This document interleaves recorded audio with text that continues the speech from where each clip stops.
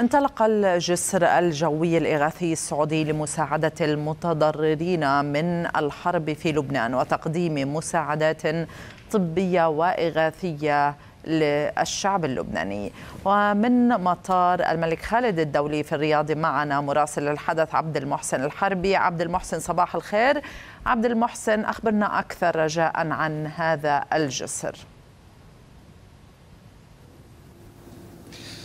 نعم صباح الخير من مطار الملك خالد الدولي وتحديدا في منطقة الشحن وبعد أيام العمل المتواصل على تسيير هذا الجسر الجوي الإغاثي السعودي إلى لبنان لمساعدة الشعب اللبناني المتضرر جراء هذه الحرب الجارية. هنالك في لبنان تنطلق هذه الطائرة التي أقف مقابلها بعد قليل محملة بأكثر من 40 طنا من المساعدات الغذائية والإيوائية وكذلك الطبية التي ستصل إلى إلى مطار رفيق الحريري هنالك في بيروت بالإضافة إلى عدد من فريق من مركز الملك سلمان والإغاثة للأعمال والإغاثة والأعمال الإنسانية الذي سيرافق هذه الطائرة ليقوم بالإشراف على توزيع هذه المساعدات بالإضافة إلى فريق تطوعي سيقوم بمساعدة الجهات المختلفة هنالك المحتاجة إلى المساعدات.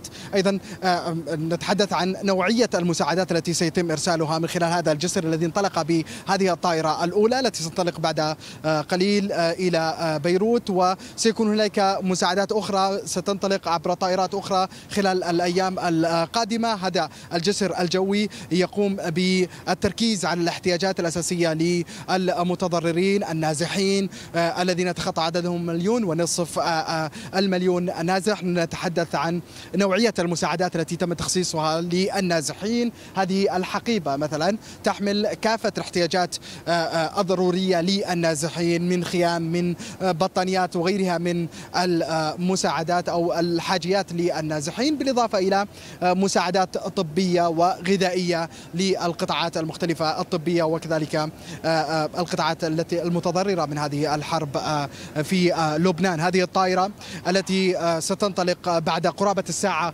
وقليل من مطار الملك خالد الدولي ستنطلق وستطلق معها هذا الجسر الجوي الإغاثي السعودي الذي سيستمر لأيام عديدة. نتحدث عن هذه الطائرة محملة بأكثر من 40 طنا من مختلف المساعدات. أيضا هنالك في منطقة الشحن حيث نتواجد في مطار الملك خالد الدولي وتحديدا في منطقة الشحن هنالك عديد من المساعدات من الأطنان المجهزة والمكيفة في مناطق الشحن هنا لإرسالها استعدادا لإرسالها خلال الأيام القليلة القادمة بدءا من هذه الطائرة بالإضافة إلى الطائرات الأخرى على أن يتم خلال الأيام القادمة دراسة الاحتياجات مع الجانب اللبناني الاحتياجات الأساسية وفي حال هنالك تغير في الاحتياجات حاجيات معينة طبية يتم دراستها مع الجانب اللبناني وإرسالها مباشرة من خلال هذا الجسر